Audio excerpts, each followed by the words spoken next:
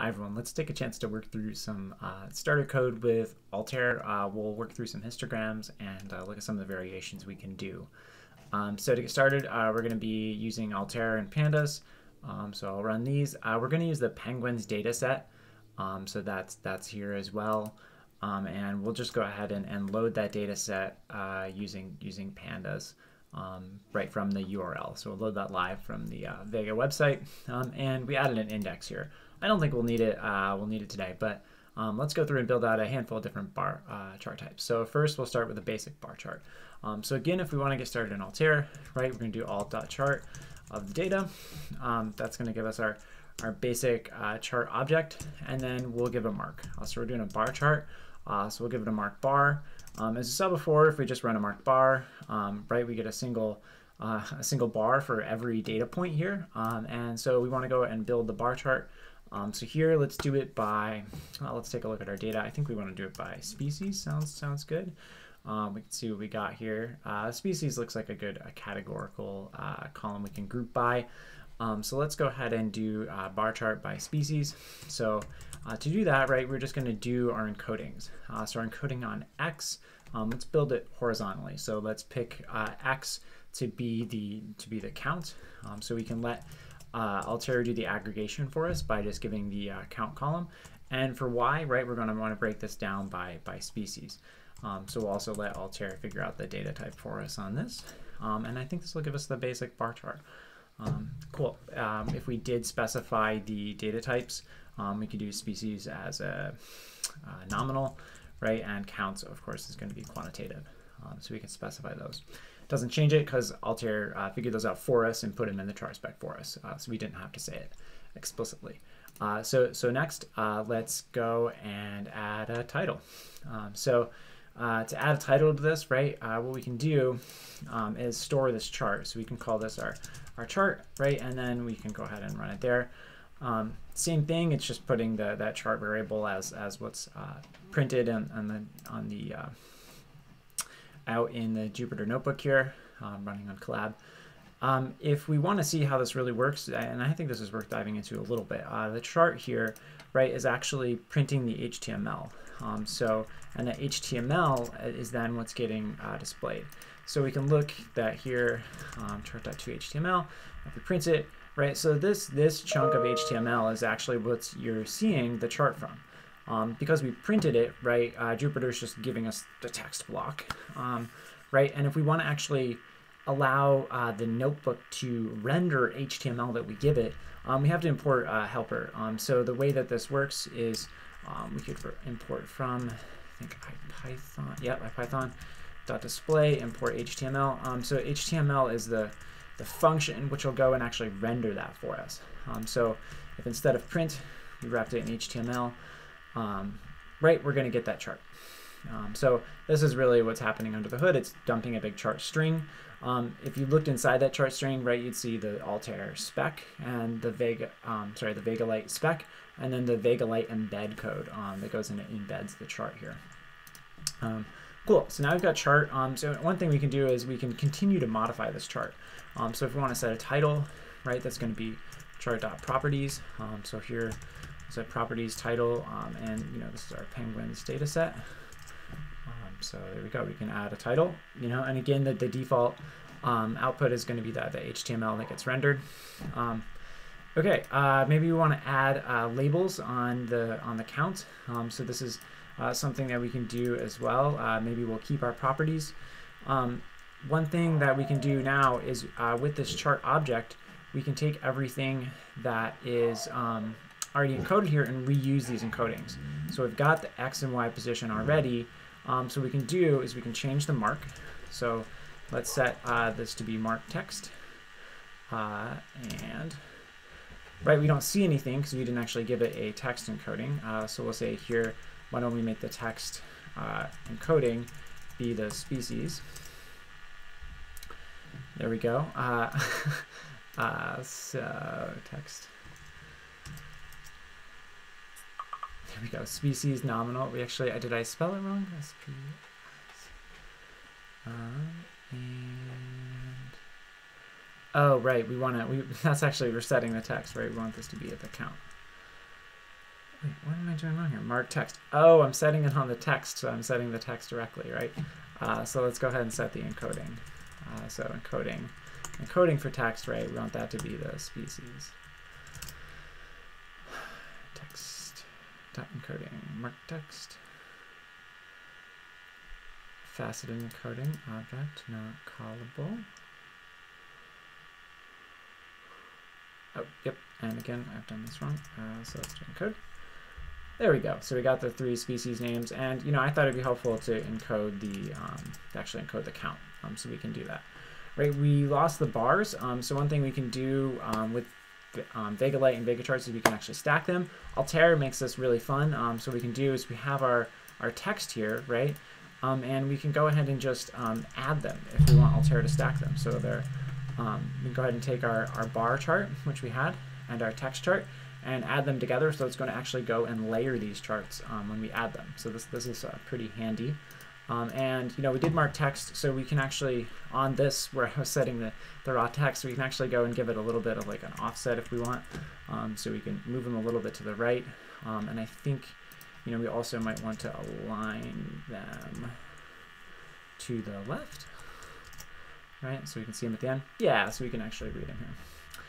Cool. Um, so now we have the text, right? And we can continue to, you know, use this to, to layer, um, right? The addition operator, we'll look at a few more operators later, um, but we can add. We can also uh, concat or uh, horizontally concat them, and we can also vertically concat them, um, right? Uh, so we can we can do any of these, right? We can layer, um, and this gives us a lot of options uh, for, for breaking down charts.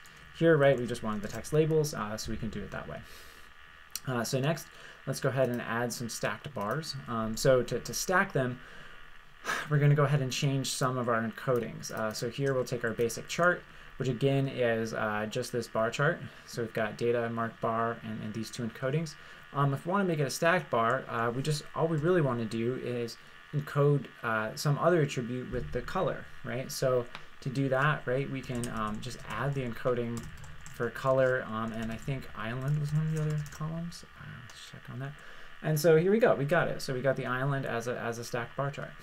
Um, pretty, pretty cool. Um, we might want to actually see, you know, what the counts are, because that's one of the one of the uh, perceptual problems with the stacked bar is, you know, it's now hard to compare these uh, Dream Island counts because they're not aligned, so that the length isn't helping us. Um, so we can add a tooltip to pull out that data if we want. Um, so we can encode the color, right? And then I think if we just do mark, if we reset the mark bar and we do tooltip to true, this will give us the tooltip. And yeah, so we can hover here and do it. We could also uh, set the tooltip manually. Um, we could do the tooltip encoding, and we could say which columns we want, right? Um, tooltip, we could give it a list of, you know, count island. Right, but Altair can do that for us. Um, so yeah, now we only have count and island. so we had a little more uh, with uh, with doing it. Uh, just on the tooltip true. Also gave us a species. Yeah. Okay, uh, those are some of the basic things we can do that I wanted to run through. Um, the next uh, the next bit, right, that uh, we saw how to do in D3 and in uh, Vega Lite, it was making a pie chart, donut chart, radar chart. Um, actually, we, we can't do those in Altair right now. Um, and the reason is the uh, Altair is using Vega Lite 4.8. So I think we're on, let's check our Altair version uh, right now. I think we're on version 4.1. Yeah, and the internal Vega Lite version this is using is like 4.8 something. And we can go ahead and actually see that if we just take this chart and take a look at the spec.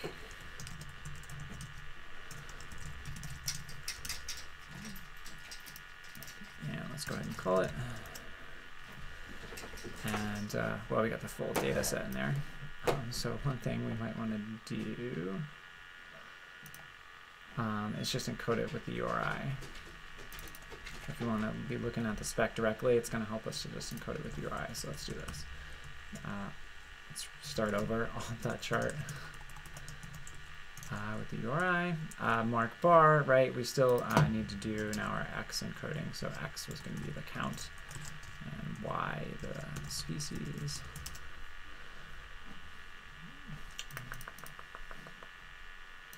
Multi-chart URI mark bar. And I'm print it. Ah, uh, so let's do island nominal. Uh, so uh, Altair can't guess and fill these in for us, right? Because it's not actually seeing these. Uh, so we're going to have to tell it by hand what the data types are. And there we go. So it's a little conciser because, a little more concise because we have uh, the data as a URL.